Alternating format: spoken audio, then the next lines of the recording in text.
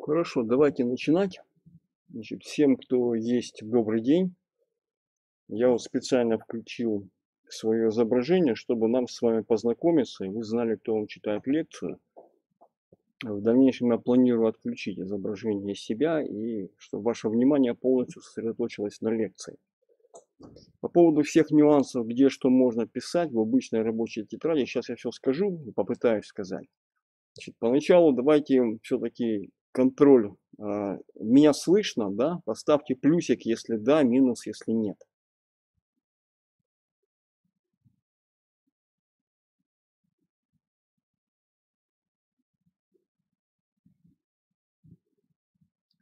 Слышно ли меня?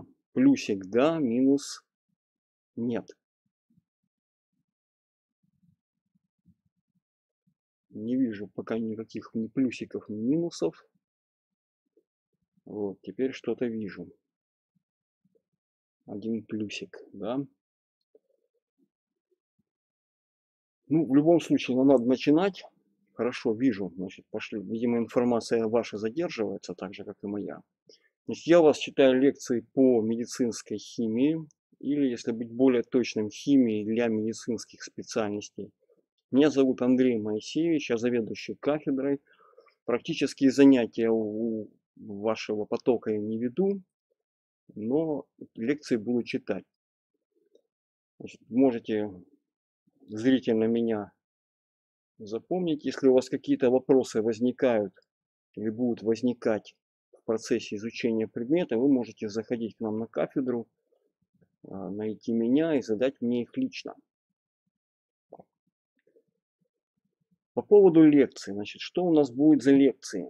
Лекции у вас будет раз в две недели. И лекции у вас, если не ошибаюсь, 8 всего лекций. А, По поводу того, писать вам их или не писать, зависит от вашего уровня. Лекции будут находиться в доступе в виде записи в YouTube, и вы можете в любой момент ее просмотреть. Если же вам этого как бы недостаточно, вы можете сделать какие-то конспективные записи, чтобы использовать на занятиях или для подготовки к занятиям. Ну, обычно ситуация такая. Если вы хорошо справляетесь с программой, если для, вам, для вас это все просто, ясно и понятно, то, в общем, можете делать какие-то записи на свое усмотрение. Если вам непонятно, если у вас возникают проблемы с пониманием, с изучением предмета, рекомендуется делать конспект, и, возможно, он будет необходим как один из этапов проверки ваших знаний, если у вас с химией, опять же, проблемы. Вот поэтому решите сами. По поводу тетради, ну, обычно мы рекомендуем использовать или вторую половину тетради, если она у вас такая толстая для практических занятий, или заводить отдельную тоненькую тетрадочку для лекций чтобы материал лекционный и матери- материал по практическим занятиям не пересекались, не путались. Чтобы не было такое, что начинается лабораторная работа в тетради для практических занятий, потом пошла лекция, потом практическая работа и так далее. В конце концов уже не ясно, где заканчивается одно, начинается другое. Что мы с вами будем изучать а, и как? Значит, ну, вы знаете, что курс у вас длится полгода. Зимой у вас дифзачет, то есть зачет с оценкой. А, Оценки общие будут вам ставиться, как и дифзачет, по так называемым контрольным точкам. Преподаватели, надеюсь, вам рассказали. Поставьте плюсик, если вы знаете про контрольные точки, и минус, если не знаете.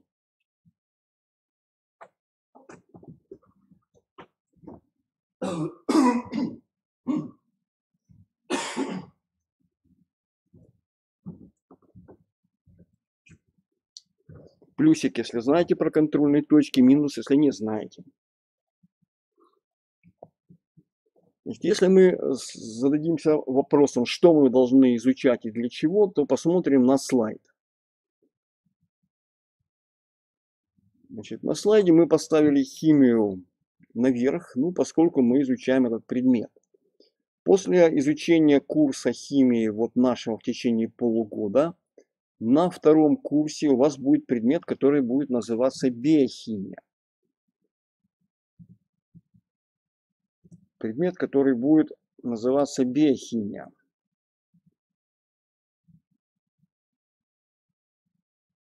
Вот он. И в биохимии вы будете продолжать изучение химии но уже с тем, что вы будете из известных вам молекул, которые вы изучили на нашем курсе, выстраивать метаболические пути, понимать их роль в процессах жизнедеятельности вот, и так далее.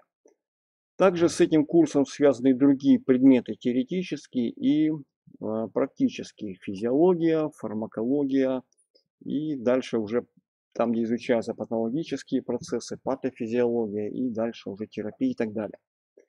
Поэтому задачу химии мы поставим себе такую. Заложить физико-химическую основу и молекулярный уровень изучения функционирования систем живого организма в норме и при патологиях частично. Физико-химическая основа имеется в виду следующее, что если, скажем, у человека повысилась температура, а это физический показатель, то вы понимаете, что за этим стоят определенные химические процессы, которые в ходе своего развития выделяют тепловую энергию и повышают таким образом температуру.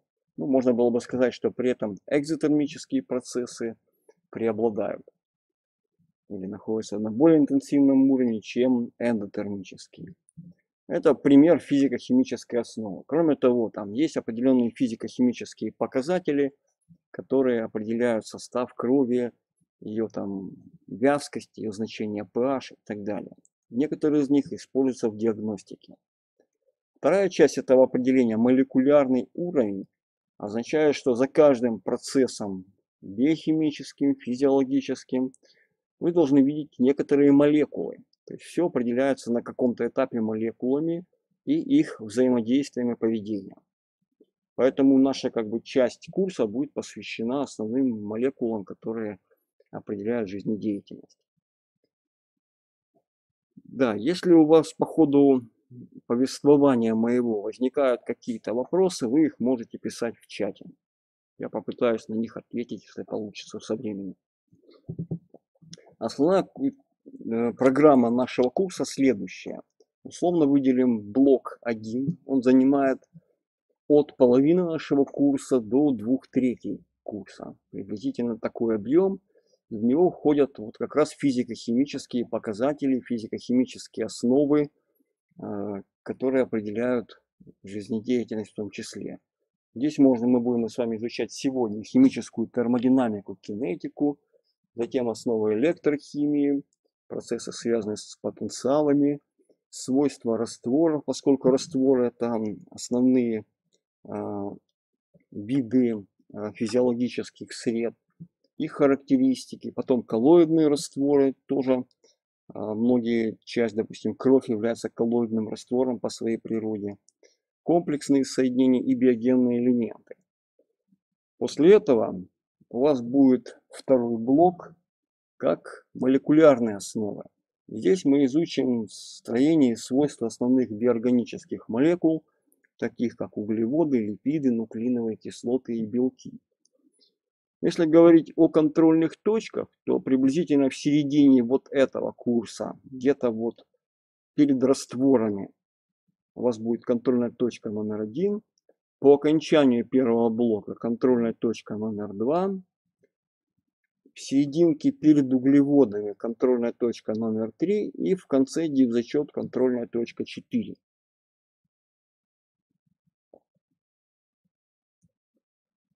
Ваш учебный процесс, как вы уже знаете, наверное, получили первый опыт, организован следующим образом. Лекции. Лекции читаю я раз в две недели. Практические занятия проходят у вас каждую неделю. У вас 17 практических занятий и они проходят пока на кафедре в очном формате.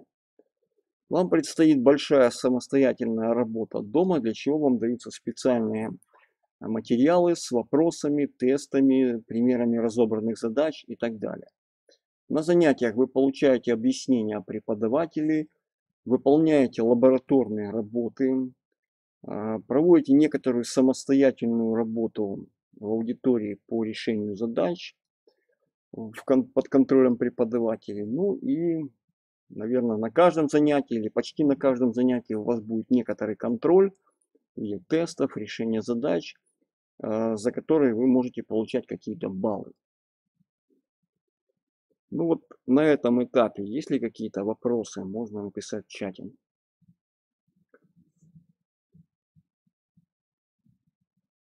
Значит, это общие как бы моменты, общая информация по курсу.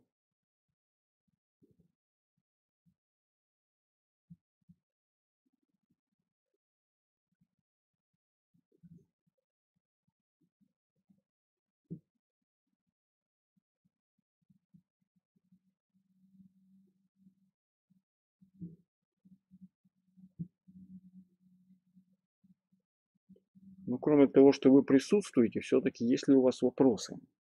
Пока я вижу у вас 69 человек. Ну, тоже что там?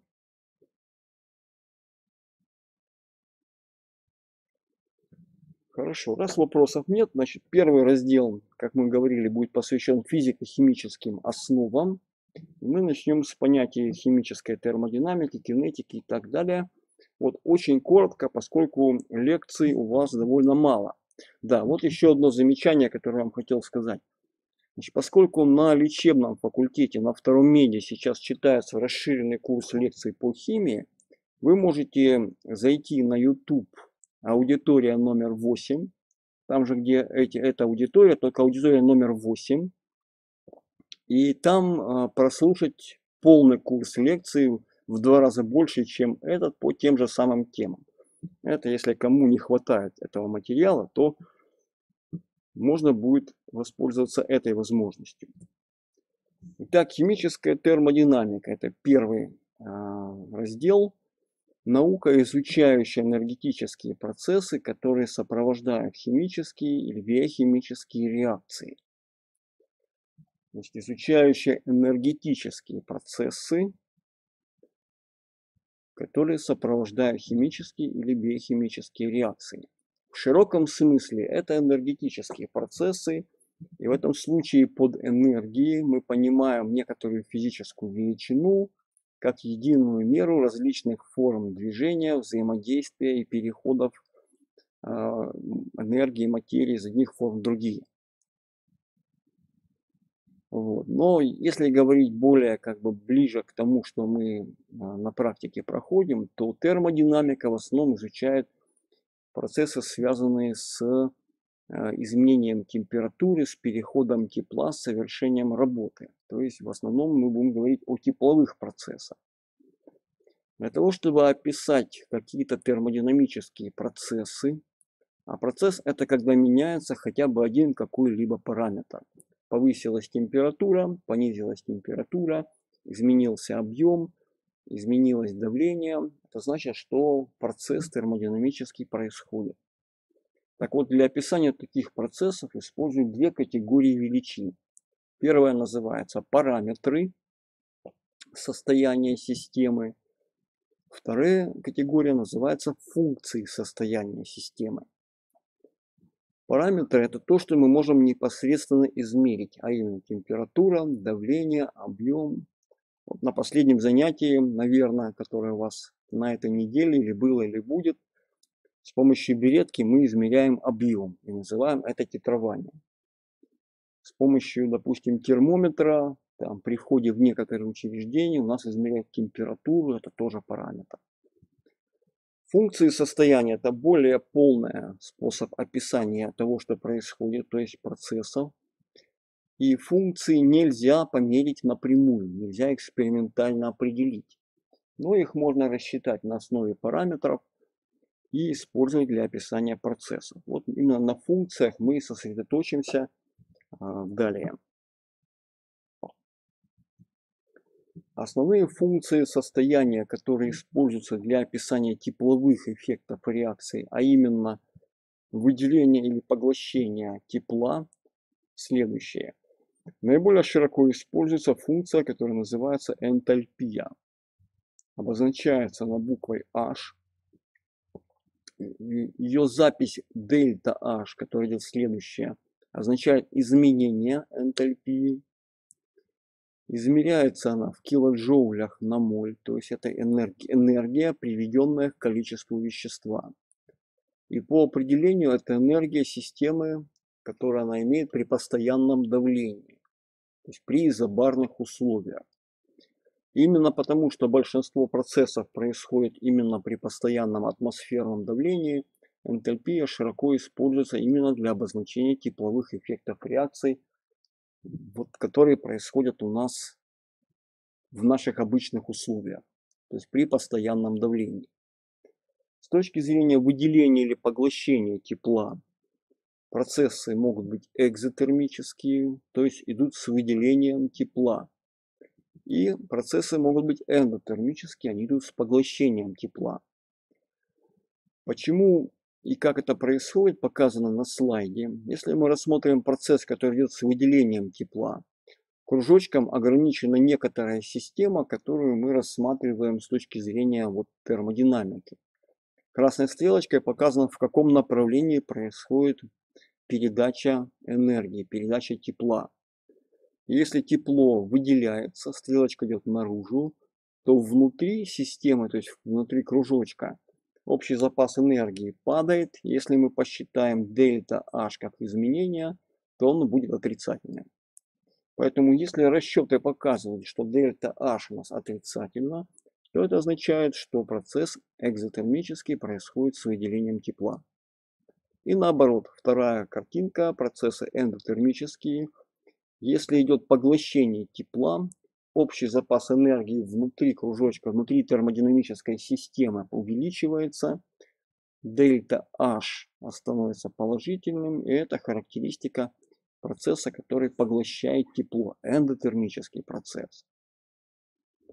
ну, для функции состояния характерно еще такое одно общее свойство, когда они не зависят от того, как протекает процесс, по какому пути он идет, но могут быть рассчитаны как конечное состояние, его функция состояние минус начальное состояние и функция в начальном состоянии. Вот поэтому мы пишем, что дельта h это h2 минус h1. Это общее свойство всех функций состояния, ну и в частности энтропии. Для того, чтобы рассчитать тепловой эффект реакции, можно воспользоваться законом, э, законом Гесса. Гесс – это русский ученый, ну, правда, у него не русское происхождение, но он э, русский. Вот тут вот, к сожалению, опечатка, это не 1936 год, а 1841, не успел я исправить. И у Гесса очень знаменательная судьба. Вот. Я рекомендую вам э, посмотреть в интернете кто такой Гесс, какая его судьба, э, какая у него биография. И самое главное, кто он был по образованию, кем он проработал всю первую половину жизни. Я вот не пишу вам, но рекомендую посмотреть. Значит, сам закон Гесса формулируется так. Тепловой эффект химических реакций не зависит от пути протекания процесса определяется начальным и конечным состояниями системы. То есть по сути это определение закона, это формулировка закона совпадает с формулировкой функции состояния. То есть для любой функции состояния можно было бы сформулировать нечто подобное. Закон имеет практическое применение как в таком виде, как он сформулирован, так и э, в виде следствия, о которых мы сейчас поговорим. Рассмотрим схемку, которая приведена перед, вернее, после определения. Если мы хотим рассмотреть тепловой эффект некоторого процесса, когда исходные вещества образуют продукты реакции, и эта схема, возможно, этот процесс может протекать двумя путями. Первый путь прямой, у него дельта H1 тепловой эффект, а второй путь это комбинированный, состоящий из двух стадий. И там дельта H2 и дельта H3 тепловые эффекты стали. Так вот, по закону Гесса тепловой эффект реакции не зависит от пути. И дельта H1 равняется дельта H2 плюс дельта H3. Понятно, о чем я говорю или нет? Поставьте, там, я не знаю, живые вы или нет, слушаете вы или нет. Но чтобы вас немножко а, вернуть сюда, поставьте плюсик, если вам понятна вот эта формулировка и сам закон Гесса. А также понятно, что я попросил вас посмотреть в интернете, кто был, кем был Гесс в первой половине своей жизни и какое образование он получил. Вижу Анну с плюсиком. И только Анну. Хорошо, идем дальше. Я жив. Это хорошо. Для расчета тепловых эффектов также используется следствие закона Гесса, и используется оно более широко даже, чем сам закон. Следствие формулируется следующим образом. Тепловой эффект реакции. Сразу понимаем, что речь идет о дельта H. Равен разности между суммой теплот образования продуктов реакции и суммой теплот образования исходных веществ умноженных на соответствующие стехиометрические коэффициенты. Ну, может быть, вы хотели бы спросить, что такое стехиометрические коэффициенты. Прощенно говоря, это коэффициенты в уравнении реакции, которые вы расставляете, когда вам нужно сбалансировать левую и правую части. То есть показывающий, сколько молей вещества вступает в реакцию, сколько молей вещества образуется. В виде формулы это можно представить как дельта H Индекс X говорит о том, что это искомый тепловой эффект реакции. Дальше идет знак равенства сумма. Дальше идет буква ню, которая показывает количество вещества или стехиометрический коэффициент. И вот дальше идет символ дельта H0F. Это называется стандартная теплота образования. Стандартная, это показывает символ 0 в верхнем индексе, Образование показывает индекс F в нижнем индексе. По определению это тепловой эффект реакции образования одного моля сложного вещества, внимание, из простых веществ, никак по-другому, только из простых веществ, при стандартных условиях. Жирным выделены сами стандартные условия. 1 моль вещества – температура 298 в кельвинах. Ну, было бы неплохо, если бы в чате написали, сколько же это будет в Цельсиях. 298 кельвина. Сколько в Цельсиях эта температура. И давление 101,3 килопаскаля. Это атмосферное давление. Дальше стоит в справочной таблице восклицательный знак. Это означает, что стандартные теплоты образования для большинства веществ уже определены и могут быть найдены в справочных таблицах. Итак, формула содержит нам сумма стандартных теплот образования продуктов реакции минус сумма с учетом коэффициентов стандартных теплот образования исходных веществ. И вот такую формулу вы будете широко использовать на практических занятиях для расчета любой функции состояния, включая тепловой эффект. То есть подчеркиваю, что эта формулировка следствия используется опять же для любой функции состояния, для большинства. Да, вижу, что вы посмотрели 25 градусов Цельсия. Это правильный ответ. 298 Кельвин или 25 градусов Цельсия. Правильно, молодцы.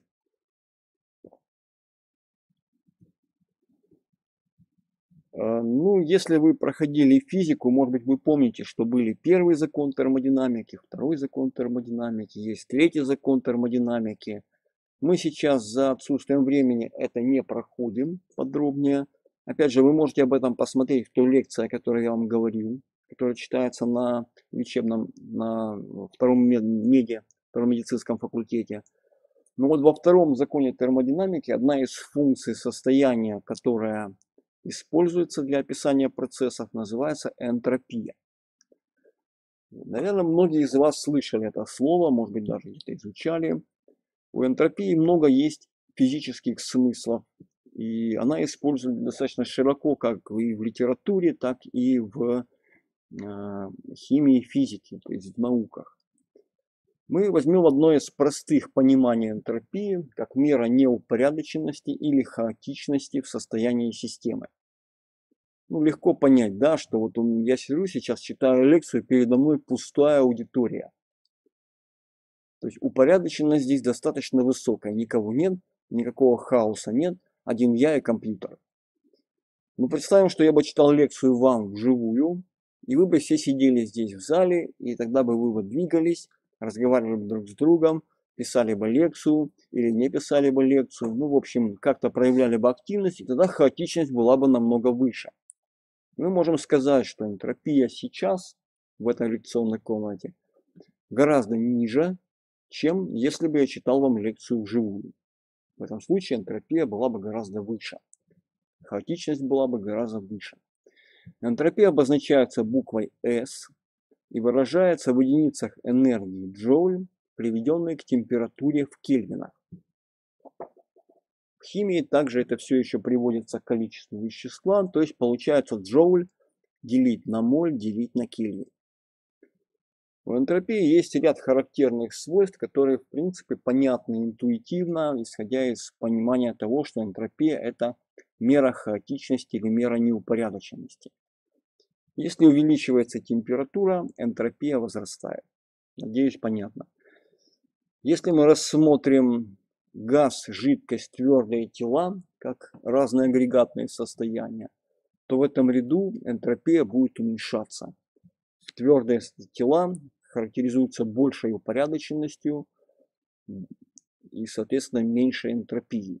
Газообразной среде упорядоченность ниже, энтропия выше.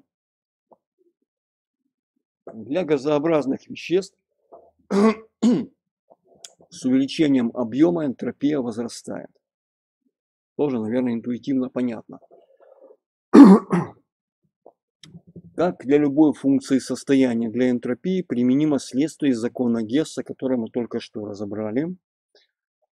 Это можно сформулировать так, что изменение энтропии в ходе какого-либо процесса X можно рассчитать как сумму энтропии стандартных продуктов реакции с учетом стихиометрических коэффициентов минус сумма энтропий исходных веществ тоже с учетом коэффициентов. Энтропии стандартные можно также найти в справочных таблицах. Вот у вас такое будет на практических занятиях. Поэтому эта формула имеет универсальный характер.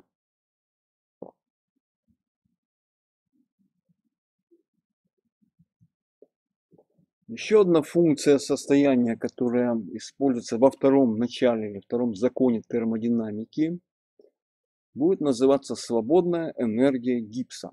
Это американский ученый, у него тоже достаточно знаменательная судьба, его фамилия будет встречаться даже в нашем курсе довольно часто. В Америке он вообще знаменитость. А, его свободная энергия, которую он ввел, обозначается буквой G, измеряется в тех же единицах, что и энтальпия, килоджоуль, отнесенных к количеству вещества в молях. И по своему физическому смыслу это та часть энергии системы, внутренней энергии, которая может быть израсходована на совершение работы. В отличие, кстати, от энтропии, которая показывает хаотичность, но эта энергия не может быть использована на совершение работы. Она может рассеиваться в окружающую среду, но не использоваться для работы. Математически свободная энергия гипса равняется энтальпии минус произведение температуры в кельвинах на энтропию S. Или в виде изменений дельта G равняется дельта H минус T на дельта S. Это один из способов рассчитать свободную энергию гипса. Зная тепловой эффект реакции, зная изменения энтропии, зная температуру, можно воспользоваться этой формулой. Другой подход характерен для функции состояния. Это уже третий раз мы сталкиваемся с этой формулой, где изменение свободной энергии гипса можно рассчитать по следствию закона Гесса разница между свободными энергиями гипса продуктов реакции и свободными энергиями гипса исходных веществ с учетом стихиометрических коэффициентов. Особенность энергии гипса в том, что она используется как основной критерий для оценки направленности процесса. Если энтальпия – это тепловой эффект реакции, он может нам сказать, будет выделяться тепло или будет поглощаться, то энергия гипса может нам ответить на вопрос, будет ли процесс протекать самопроизвольно, без затрат энергии или не будет. Это очень важно для многих случаев, для того, чтобы предсказать протекание реакции или предвидеть это. И в этом случае тут, э, эта функция очень важна. На практике это выглядит так. Вот показаны критерии протекания химических процессов. Для всех процессов, которые протекают самопроизвольно, то есть если процесс А, стрелочка Б, это означает, что вещество А автоматически, самопроизвольно, без затрат энергии будет переходить в вещество Б. Если это происходит, то изменение свободной энергии гипса в этом случае будет отрицательно, будет меньше нуля. Это означает, что в ходе такого процесса свободная энергия гипса уменьшается, а ее изменение оказывается отрицательным. Если же вдруг дельта G больше нуля, это означает, что реакция в таком направлении, то есть слева направо, протекать не может. Это термодинамический запрет на протекание процесса. Но для обратимых процессов это означает возможность протекания обратной реакции. Это значит, что более вероятна реакция от B к А, нежели чем от А к Б.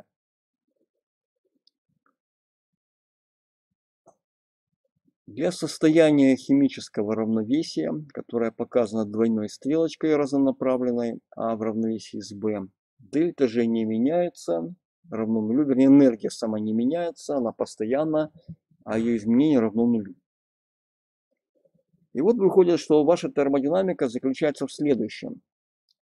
А, рассчитать тепловой эффект реакции. У вас есть несколько способов, которые мы разобрали. Есть справочные таблички – вы рассчитываете, определяете знак теплового эффекта и делаете вывод, выделяется или поглощается тепло в процессе.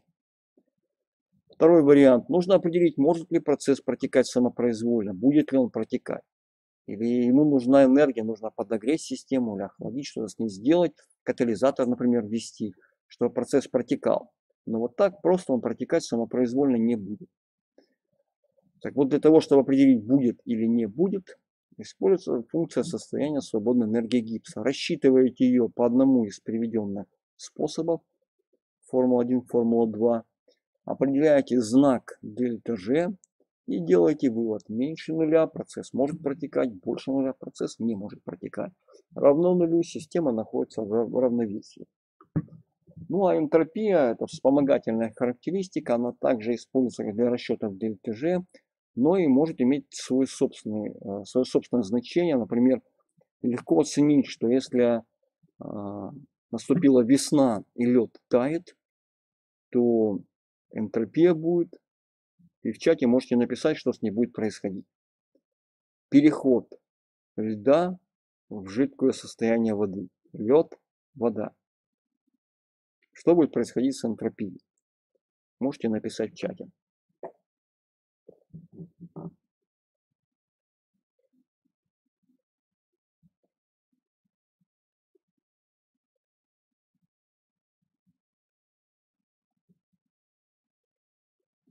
Ну, пока ничего не вижу. Наверное, все еще идет задержка по времени с передачей информации.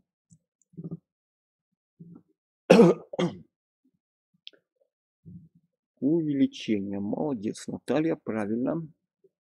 При таянии льда энтропия увеличивается, потому что лед как твердое состояние более упорядочен, чем вода как жидкое состояние. Хорошо. Практическим приложением а, термодинамики для живых процессов а, может быть следующее. Вот посмотрим на слайд. Особенности термодинамики биохимических реакций. Для начала введем два новых термина. Если реакции протекают самопроизвольно, как одна реакция или так сумма реакций, то есть такая сложная реакция. Сопровождается все это уменьшением энергии гипсом, дельта G меньше нуля. Название таких реакций экзоорганические. Есть экзотермические, а это экзоорганические. Реакции, сопровождающиеся увеличением свободной энергии гипса, дельта G больше нуля, и которые не могут протекать самопроизвольно, для них нужна дополнительная энергия, называются эндоорганическими, по аналогии с эндотермическими. Так вот, в живых системах процессы устроены так, что эндоорганические реакции протекают вместе с реакциями экзоорганическими. То есть, например, чтобы синтезировать белок, чтобы заставить мышцу работать, чтобы какие-то протекали реакции там, в головном мозге и так далее, а, нужна энергия. Вот эта энергия получается из реакций экзоорганических. Вот рассмотрим пример. Глюкоза плюс фосфорная кислота называется фосфорилирование глюкозы. Получается глюкоза 6-фосфат и вода. Этот процесс сопровождается дельта G увеличения. То есть дельта G имеет положительный характер, плюс 13,8 кJ на моль. Отсюда можно было бы сделать вывод, что если смешать глюкозу с фосфорной кислотой, процесс не будет протекать. То есть фосфорилирование не будет происходить.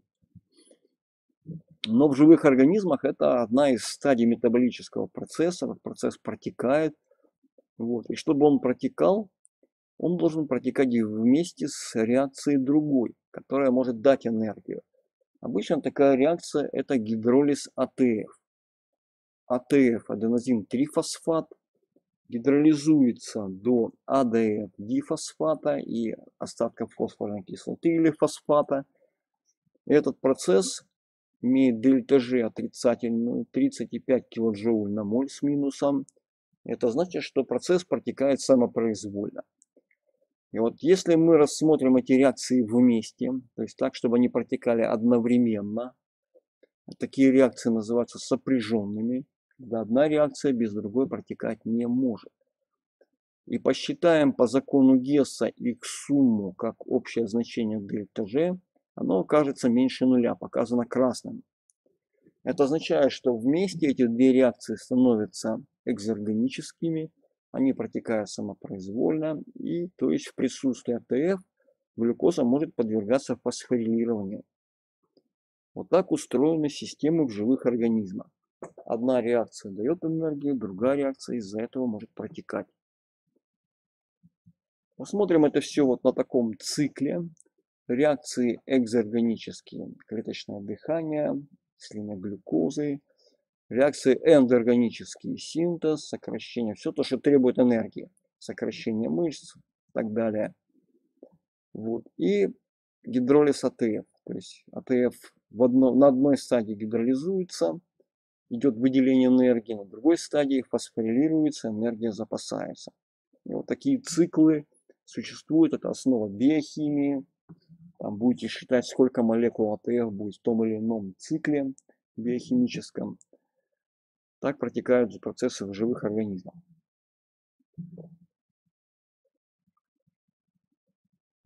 Значит, дальше мы должны будем начать химическую кинетику. Наверное, мы это сделаем после перерыва. Вот. Сейчас 5 минут на вопросы.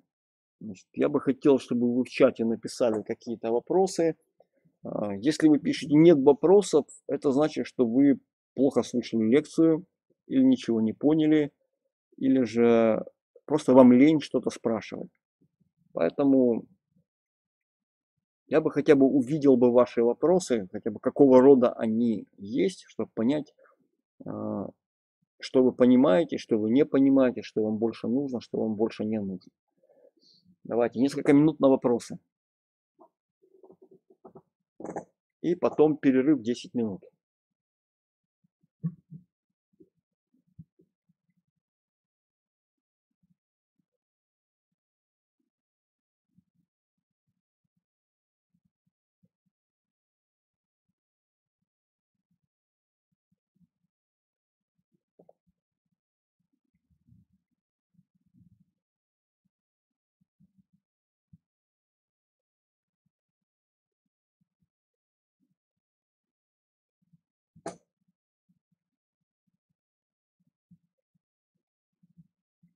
В качестве одного из домашних заданий, а я иногда на лекциях задаю домашние задания, я бы вам предложил следующее. Сейчас напишу вам в чате.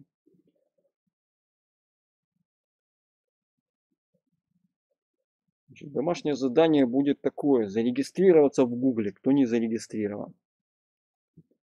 Чтобы мы иногда могли с вами а, выполнить какое-то тестовое задание в дистанционном режиме.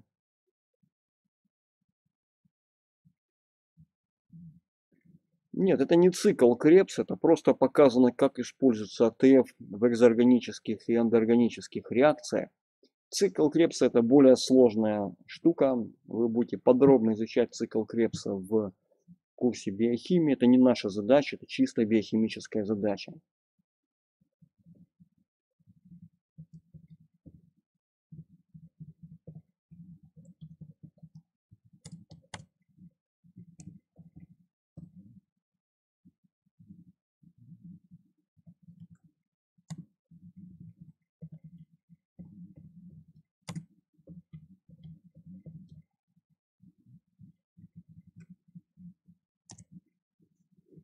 Я вам написал, что он может зарегистрироваться в Гугле домашнее задание.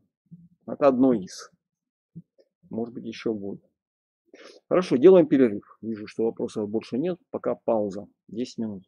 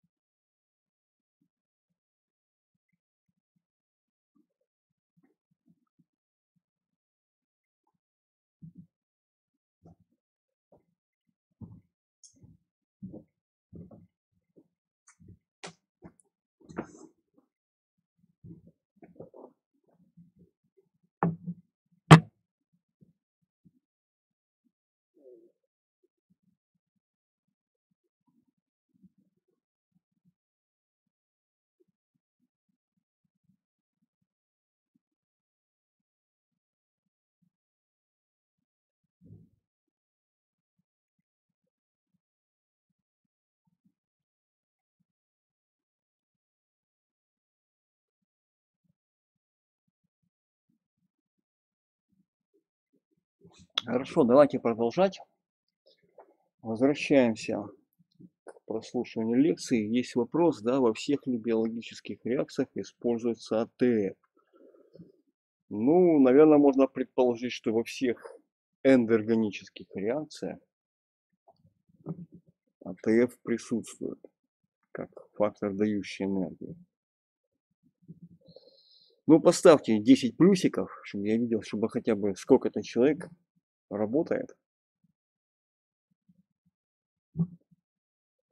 И мы идем дальше. Значит, следующий наш подраздел будет называться химическая кинетика. Я напоминаю, что мы изучаем физико-химические основы функционирования химических, биохимических процессов.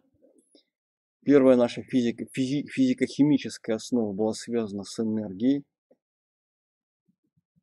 с определением тепловых эффектов реакции, с направленностью процесса.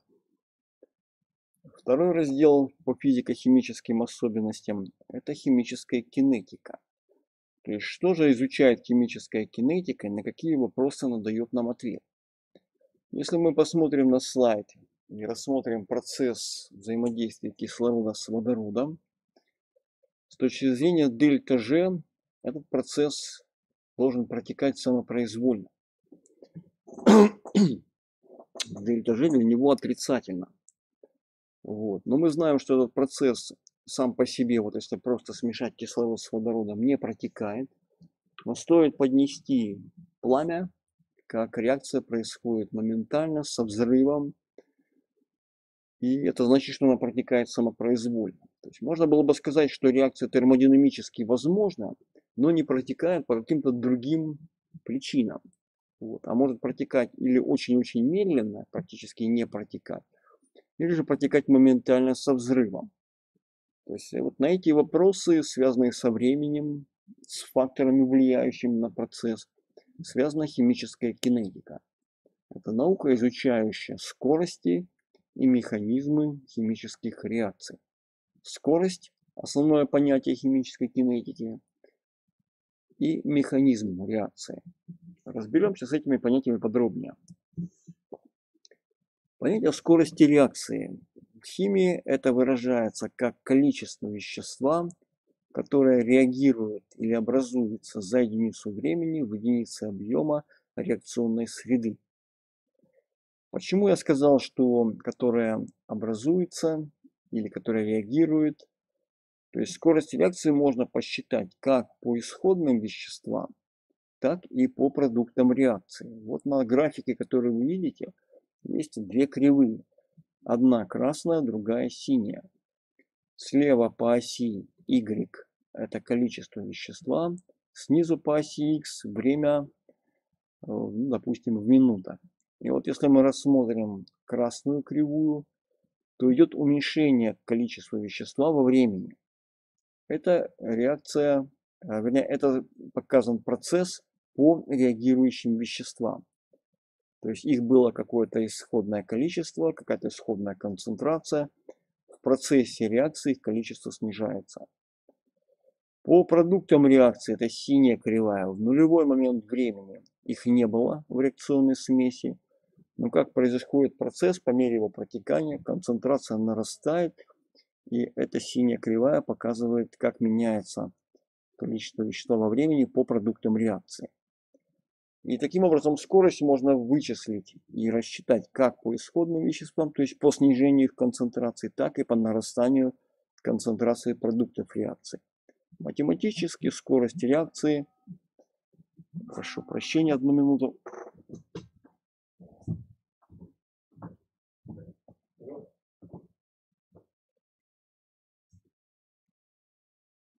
я участвую в лекции, я только по звуке, когда она подбит.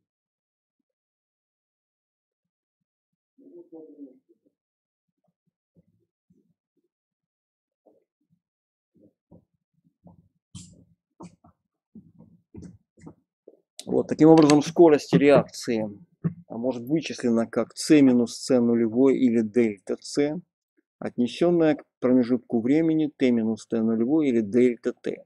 То есть на графике можно всегда выделить какой-то участок дельта t соответствующему изменению дельта С и посчитать скорость реакции на данный промежуток времени. Если С будет меньше, чем С нулевое, такое возможно, тогда мы должны поставить знак минус перед этой дробью, чтобы получить скорость в виде положительной величины. Ну, такие задачки у вас будут на практических занятиях.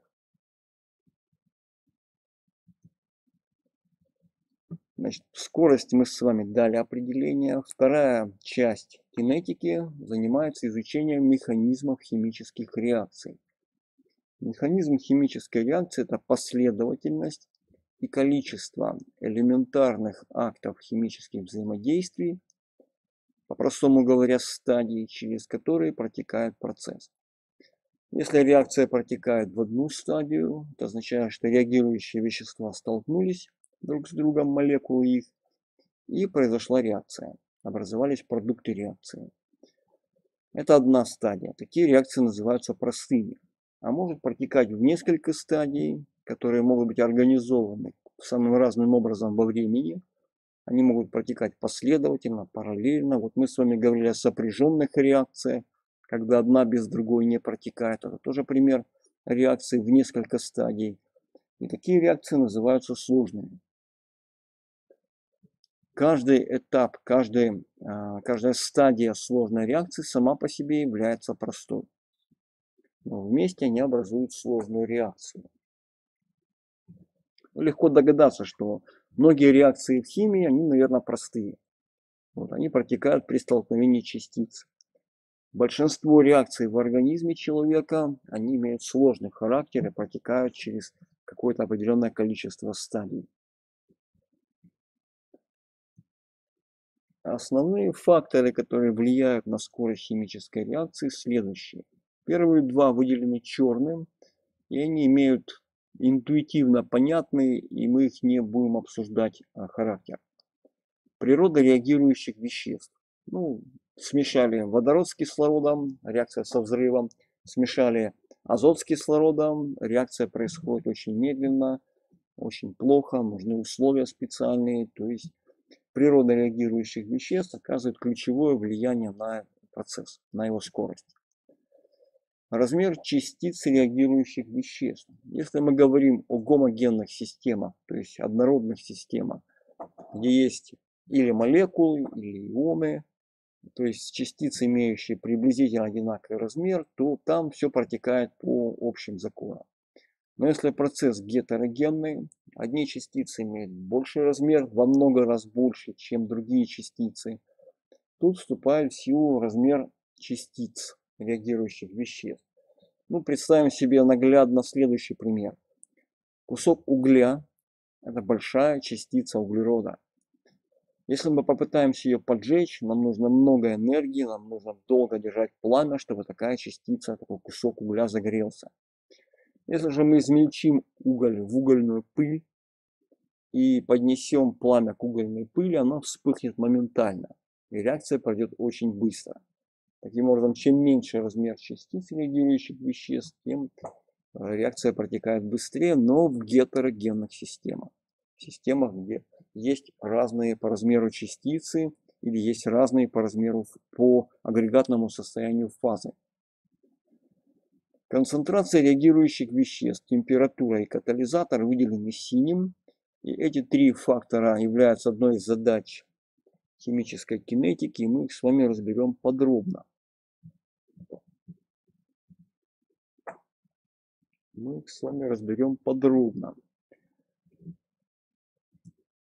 Первый фактор э, – это концентрация реагирующих веществ достаточно сложный принцип, и почему-то у студентов часто он вызывает затруднения. Причем эта зависимость имеет не просто характер зависимости, а называется еще по-другому основной постулат химической кинетики. Да? Не просто так, а основной постулат химической кинетики. Или еще по-другому закон действующих масс, то есть закон. Это очень серьезный принцип. Формулируется он так. Скорость химических реакций прямо пропорционально произведению концентрации реагирующих веществ, возведенных в степени некоторые степени, условно x, y, z. Эти x, y, z называются частными порядками реакции. Посмотрим на пример. Некоторая реакция, где А малая – это число молей вещества А или коэффициент, Б малая, соответственно, для вещества Б, С малая для вещества С, а А большое, Б большое, С большое – это реагирующие вещества. Неважно, сколько их будет, показано 3, ставит многоточие, это значит, их может быть больше. Стрелочка продукты реакции. То есть для нашего постулата, для нашей зависимости продукты реакции не имеют значения. Все определяется только реагирующими веществами. И дальше выражение, соответствующее этой формулировке. Скорость реакции прямо пропорциональна. Мы ставим некоторый коэффициент пропорциональности k. Произведению концентрации реагирующих веществ CA, CB, CC, C большая концентрация, возведенные в некоторой степени x, y, z. То есть математически это степени, а химически они называются частными порядками реакции. Сумма частных порядков реакции называется общим порядком реакции. Или просто порядок реакции. Ну, если бы мы сейчас были с вами в одном зале, я бы написал вам какое-нибудь уравнение простое, попросил бы составить уравнение скорости для данного уравнения реакции. Ну, поскольку сейчас это нам довольно тяжело сделать, то если опять же есть вопросы, попробуйте их набрать. Значит, ключевое здесь К – это константа скорости или коэффициент пропорциональности в уравнении. СА, СБ и так далее – это концентрация реагирующих веществ, а X, Y и там Z или другие какие-то показатели степени – это частные порядки реакции, сумма которых является просто порядком реакции или общим порядком реакции.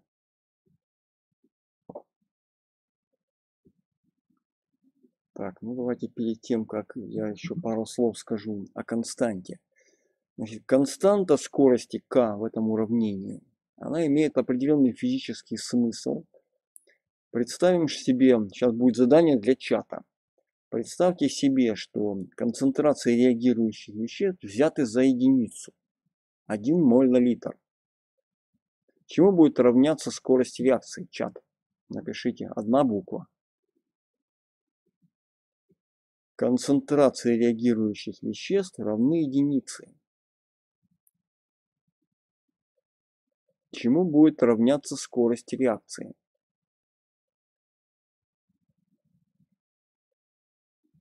Чате.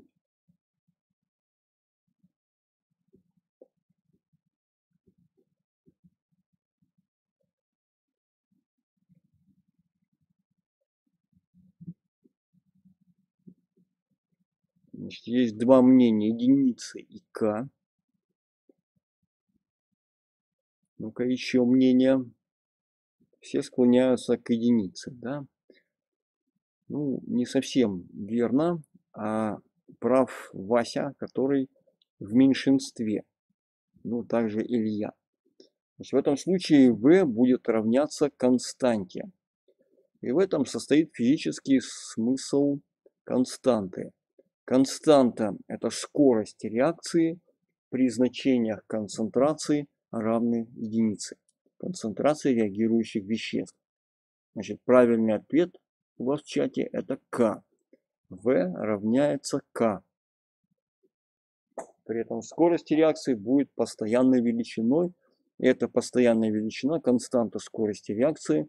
И константа не зависит от концентрации. Идем дальше. Следующий фактор – это зависимость скорости реакции от температуры. Есть такие две зависимости. Одна будет называться эмпирическое правило Ван Гофа. Оно гласит о том, что при повышении температуры на каждые 10 градусов скорость реакции возрастает от 2 до 4 раз. Математически это может быть записано. И, кстати, посмотрите, да, э, теперь уже вместо скорости реакции мы пишем как раз k. Именно потому, что я вам сказал, что это показатель скорости реакции при постоянных концентрациях, при единичных концентрациях. То есть, когда концентрации не влияют на скорость. Вопрос, это определенное число? Если речь о константе, то да. Это определенное число, которое характеризует данную реакцию. Причем вы там увидите при расчетах, в зависимости от порядка реакции, константы будут иметь еще и разные размерности. Значит, в этом правиле Ван Гофа k с индексом t2, если вы пишете, это можно дописать, потому что на слайде этого нет. k с индексом t2 – это константа скорости реакции при повышенной температуре t2. К с индексом Т1. Это константа скорости реакции при температуре начальном Т1. Гамма, следующая буква называется гамма.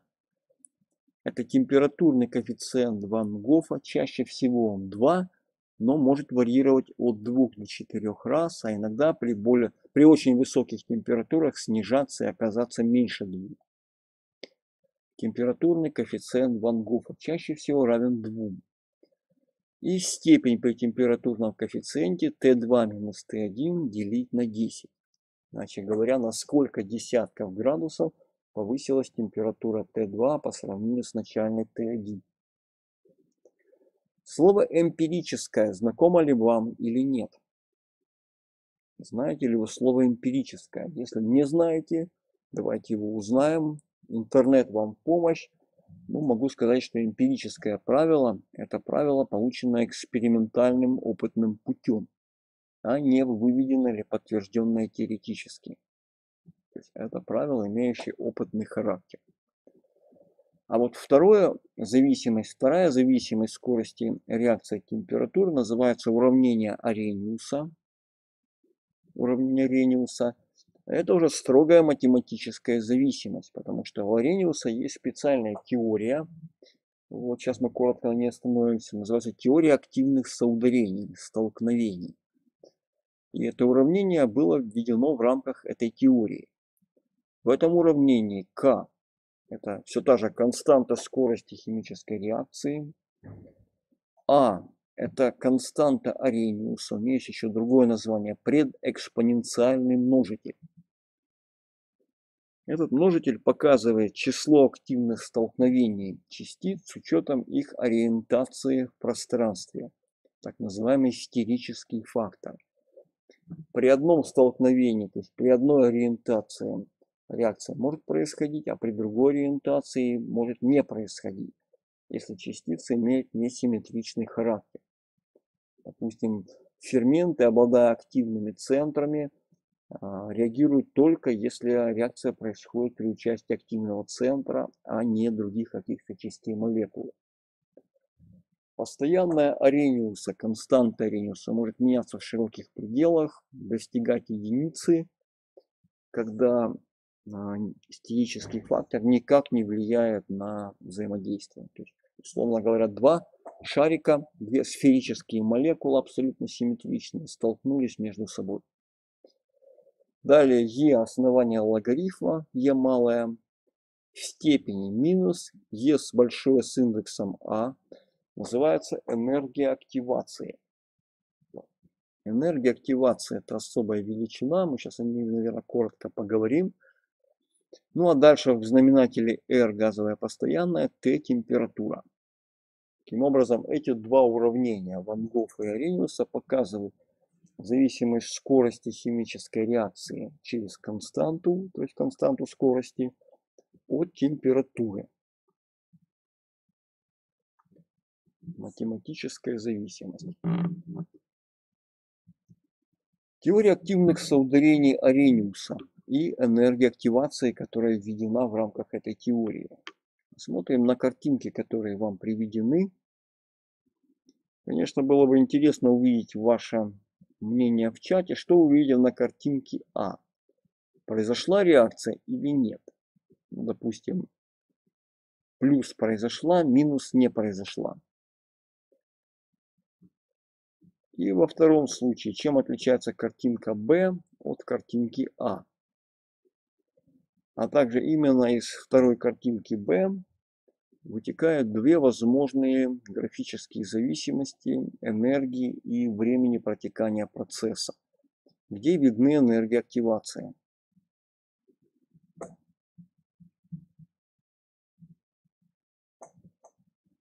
Хорошо, давайте по-другому вопрос поставим.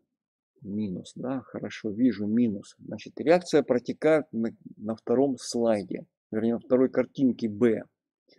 Когда две молекулы, синяя и красная, столкнулись, столкновение показано на, как в случае А, так и Б. Но в случае Б оно было эффективным. Старые связи между синими частями молекулы разорвались, а новые синие и красные образовались. Это значит, что процесс протекает во втором случае, а в первом не протекает. Что это значит? Это значит, что в первом случае не хватает энергии частиц, то есть недостаточно энергии, чтобы их столкновение было эффективным. То есть не хватает, иначе говоря, энергии активации. А во втором случае энергии активации было достаточно, энергия частиц была высокой, и произошла химическая реакция. Она может быть и две картинки справа. Справа показывает картинка, когда исходная энергия э, веществ А и Б выше, чем энергия продуктов реакции С и Д. В этом случае энергия активации это тот барьер или тот избыток энергии, который должен быть у реагирующих веществ, чтобы они прореагировали. Во втором случае, во в нижней картинке, показан случай, когда энергия реагирующих веществ А и Б ниже, чем энергия продуктов реакции С и Д. При этом энергия активации, как вы видите, оказывается намного больше, что говорит о том, что процесс, который вверху показан, более вероятен, чем процесс, который показан внизу. Чем меньше энергии активации, необходимое, тем более легко протекает процесс. Также из этих картинок можно предположить с точки зрения термодинамики, какие процессы им показаны. Верхняя картинка – процесс, когда продукты реакции имеют энергию ниже, чем исходных веществ. Их разница будет отрицательной, процесс экзотермический или дельта H для него меньше нуля. Во втором случае, наоборот, дельта H больше нуля, процесс эндотермический. Надеюсь, в этом, вы это видите по картинкам.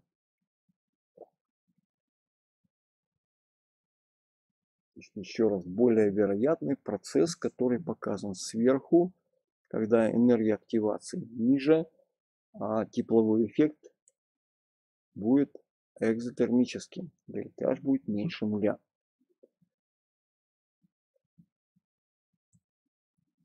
Сложные реакции. Сложные реакции, как мы говорили, это тоже один из объектов химической кинетики. И сложные реакции, как мы говорили, протекают в несколько стадий, каждая из которых является простой реакцией, протекающей в одну стадию. Несколько типов таких реакций. Первый тип вам знаком. Обратимые реакции. Показываются двойной стрелочкой – а в равновесии с Б протекают до состояния равновесия. Каждая из реакций, прямая и обратная, характеризуется КА и КБ, где К – это константа скорости, А – прямой реакции, Б – обратной реакции. Последовательные реакции, когда одна реакция завершается образованием продукта, допустим, В, в то же время продукт В становится исходным веществом для следующей стадии с образованием продукта С. Реакции параллельные. Они протекают одновременно, когда вещество, реагирующее одно и то же, превращается сразу в два разных вещества В и С, и каждый из процессов характеризуется своей константой скорости. И сопряженные реакции вы видели на примере реакции экзо- и эндоорганических, когда одна реакция без другой не протекает. Вот такой тип реакции также относится к сложным. Кроме того, сложные реакции вы изучаете изучали ранее. Например, цепные реакции вы изучали в школе на органике. Фотохимические реакции изучали в биологии. Ну и так далее. Это тоже все примеры сложных реакций. Более подробное описание сложных реакций мы приводить не будем. Вот, скажу только, что порядок реакции сложной может быть не целочисленным. Помните, да, что порядок это сумма коэффициентов, сумма э, для сложных реакций показателей степеней в уравнении закона действующих масс. И вот для сложных реакций порядок может быть дробным. Для простых такого не бывает.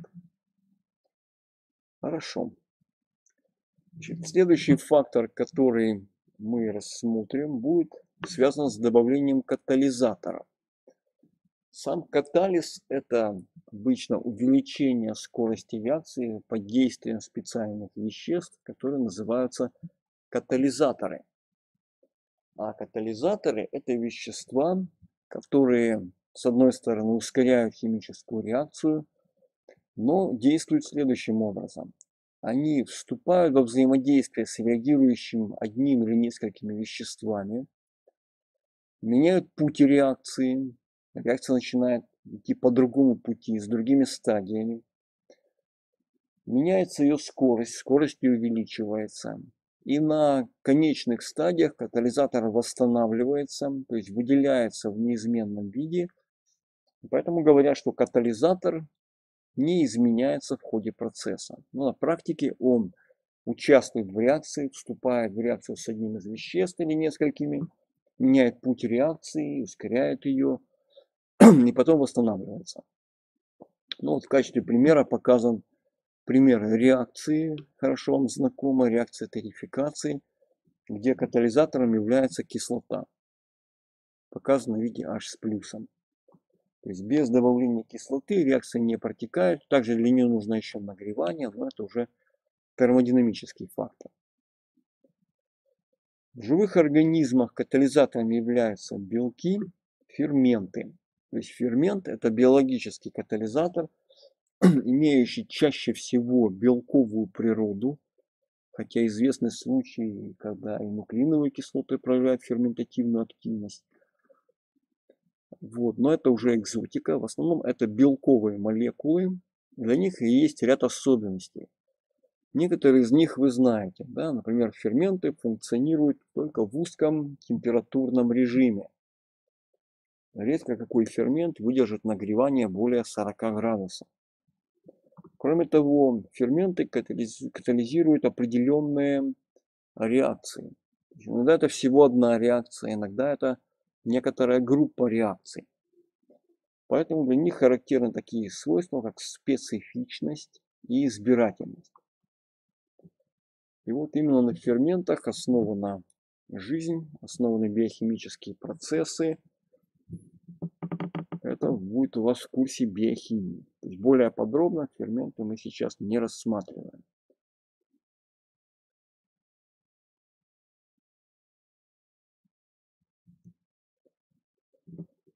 К химической кинетике вплотную примыкает такое свойство, как химическое равновесие. На него можно рас, обратить внимание, рассмотреть его как с точки зрения термодинамики, так, так и с точки зрения кинетики с точки зрения термодинамики. А, есть целый терм, ряд термодинамических признаков равновесия. Один из них будет называться энергетическая выгодность процесса. Мы знаем, что в самопроизвольных процессах энергия свободная снижается, и вот она будет достигать минимального уровня. В то же время энтропия, как правило, повышается в самопроизвольных процессах, и будет стремиться достичь максимального уровня. Это все объединено понятием энергетической выгодности. Кроме того, мы знаем, что в состоянии равновесия изменения функции состояния не происходит. И такие как функции, как дельта h, дельта s, дельта g, все равны нулю. Это термодинамические признаки равновесия. Кинетические они проще. То есть реакция начинается с прямой реакции, одновременно запускается обратная реакция, процесс обратим и протекает он до равенства скорости прямой и обратной реакции. Это химический, кинетический критерий равновесия, когда скорость прямой реакции и скорость обратной реакции становятся одинаковыми.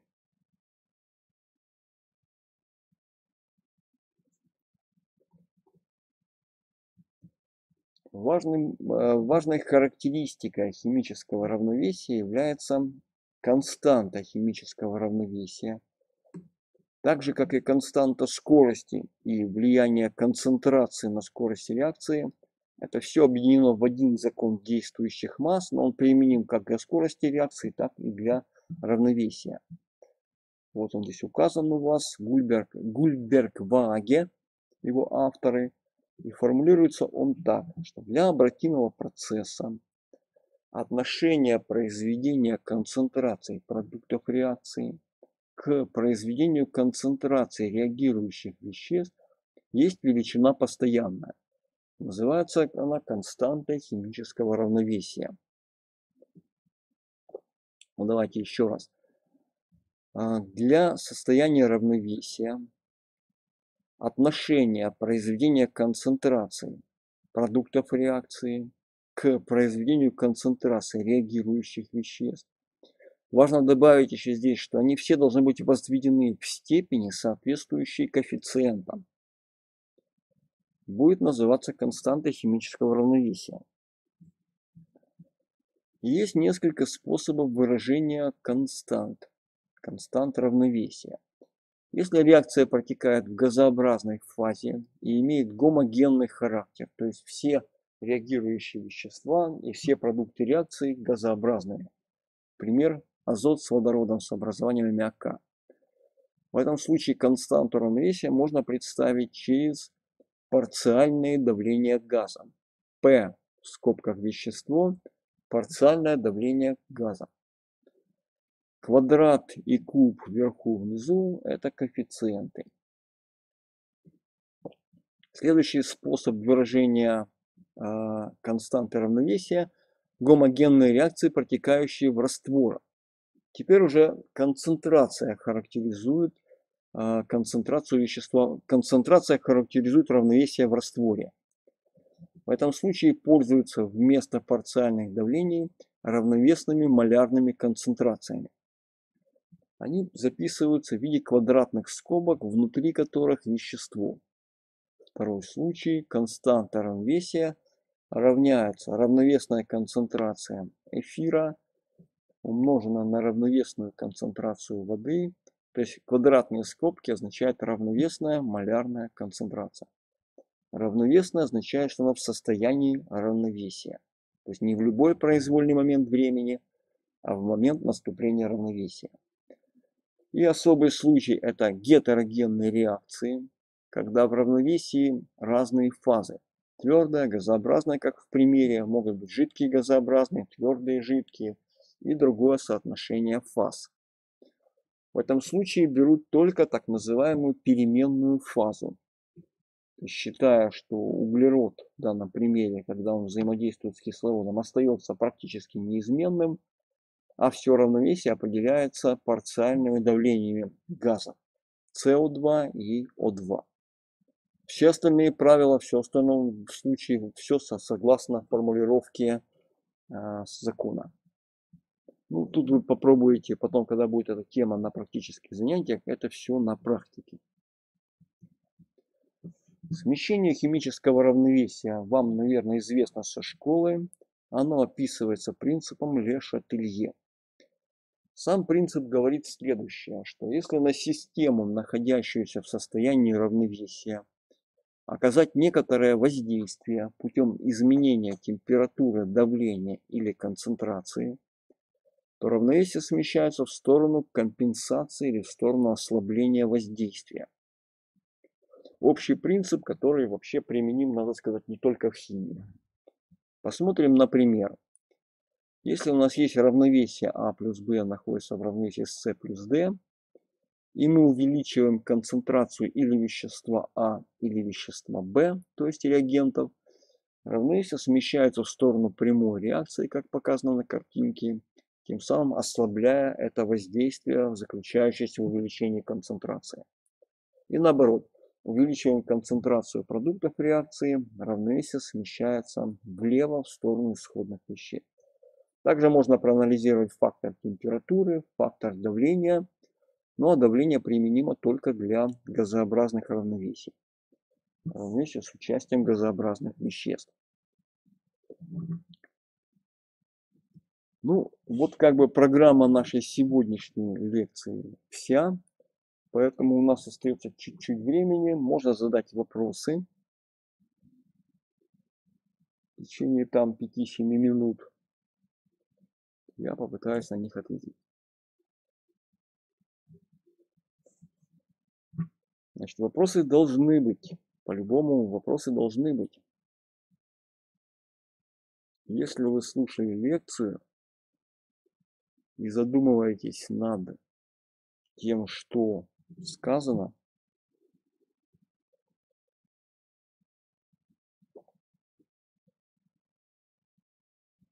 а есть ли среди всех слушающих староста потока?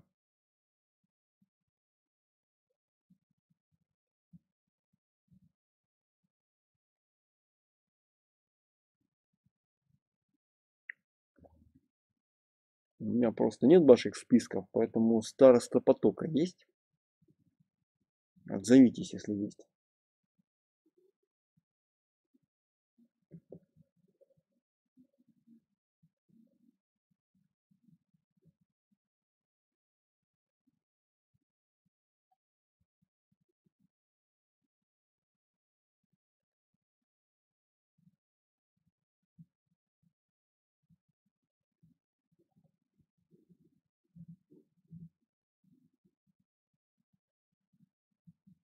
Не вижу. Видимо, нет, да? У вас присутствовало 62 человека, если верить,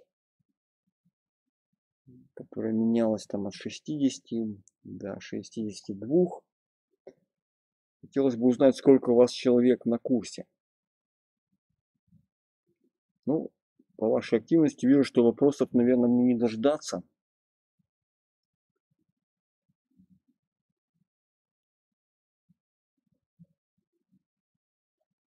Давайте еще пару минут. Что зачем?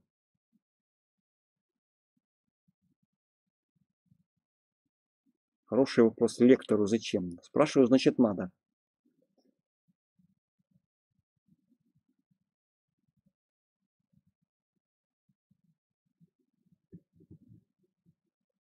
Ну хорошо, ладно, вижу, вопросов нет. Всем спасибо за внимание. До следующей встречи через неделю.